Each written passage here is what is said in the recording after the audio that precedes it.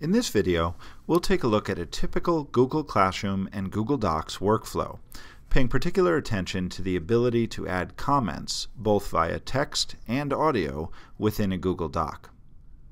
We'll begin over in Google Classroom.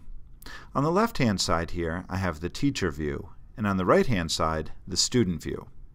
So the first thing we need to do as the teacher is create the assignment for our students. So I'm going to tap on the plus button and create assignment. And we'll make a very simple assignment.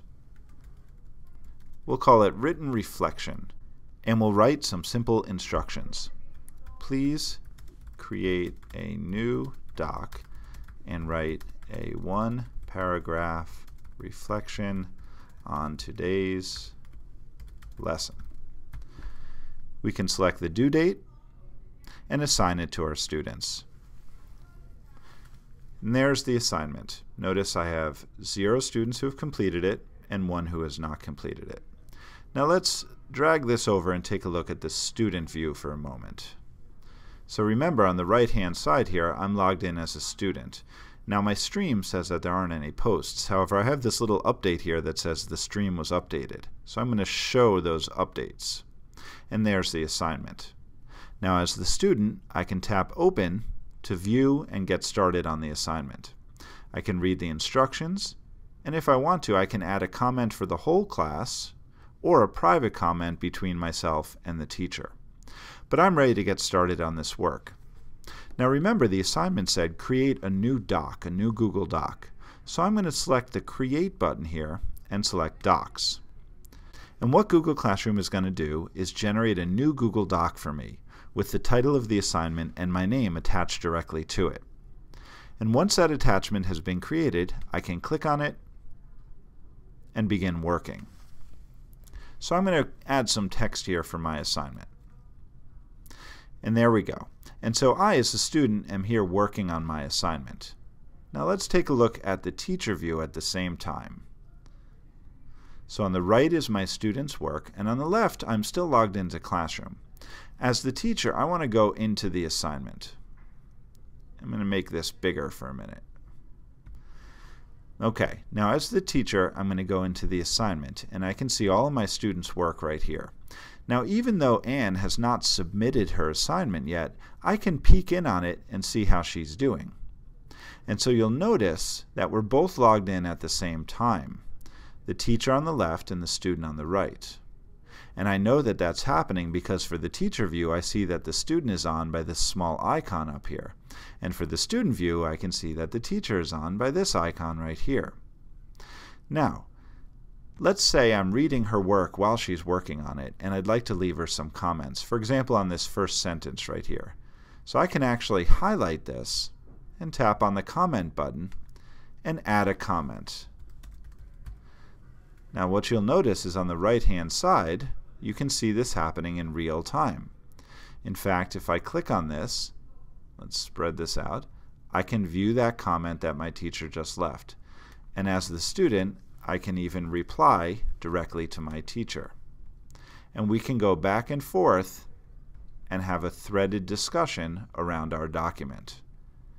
Keep in mind, this document hasn't even been turned in yet. So this is all focus on the process of writing rather than on the product at the end. Now, wouldn't it be nice if, as the teacher, you could leave comments with audio recordings instead of just text? It would make it faster and it would create a personal connection between yourself and the teacher. Now, Google Docs isn't able to do that built in. However, we have an add-on installed in Google Chrome that allows us to do it. And that add-on is called Read Write for Google Chrome. And it can be seen right here with this icon. If you don't have this icon right here, you may see it over here in your toolbar. Either way, you can tap on that icon to access a whole bunch of different tools that can be used in the web. One of those tools is the Voice Comment tool. So just like before, I'm going to select a paragraph, a sentence, or even just a word that I'd like to comment on. And with it highlighted, I can tap on the Voice Note button. And you'll see that Read Write for Google has brought up this recording pane. And here I can tap on the microphone icon and begin recording a note of up to one minute in length.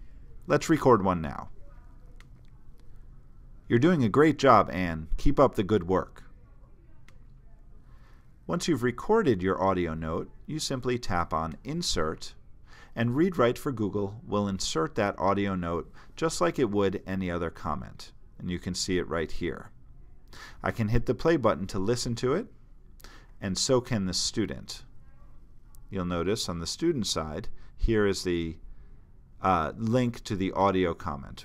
I can tap on it. You're doing a great job, Anne. Keep up the good work. And listen to the comment. And as the student, I can reply directly to that audio comment. One important thing to note is that if you're using the iPad to access Google Docs, voice notes will not be accessible directly within the Docs app. For example, I have a voice comment attached here, and I can tap on it and see that voice comment. However, you'll notice I don't have a play button here. Rather, I have a link that will take me out to the internet in either Drive, Chrome, or Safari where I can hear the voice note. You're doing a great job, Anne. Keep up the good work. Now, let's say the work has been completed and the student is ready to turn in her assignment. Anne can simply tap on the Turn In button at the top of the Docs page. And now all Anne needs to do is tap on the blue Turn In button within Google Classroom, confirm, and her assignment has been submitted. Let's take a look back at the teacher view. You'll notice in the teacher view of Google Classroom, I now have one completed assignment. Now there's something important to note here. When Anne turned in that work, she lost ownership of that document, meaning the ownership was transferred to the teacher. This prevents Anne from editing the work once it's been submitted. Now the teacher can come in and select the assignment and add more comments, add grades, etc.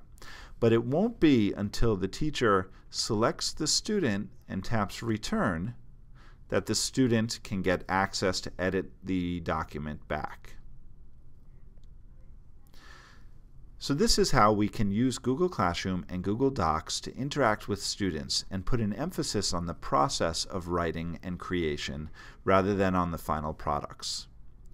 You can use comments built into Google Docs to leave text comments, or the features within Read and Write for Google Chrome to leave audio comments.